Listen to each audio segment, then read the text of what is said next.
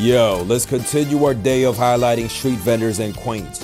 I'm in Jackson Heights to try a Bangladeshi street food known as fuchka, prepared for me by a man wearing Gucci shades.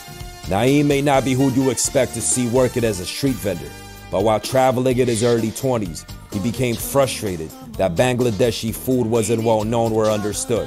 So in 2017, he made it his mission to correct that lack of representation by opening up Tong. The fuchka is made from a chickpea flour shell that's cracked open tenderly, like a kiss, then filled with chickpea, topped with red onion and cilantro, then grated egg and spice powder, served with what's known as chutney water. This will make you a believer. I also went in hard on this mango masala, which was wild tart and laced with kashundi sauce, adding a strong flavor of mustard seed. Naeem has a new restaurant opening in Jamaica, and I'll be sure to check in soon. Bonk.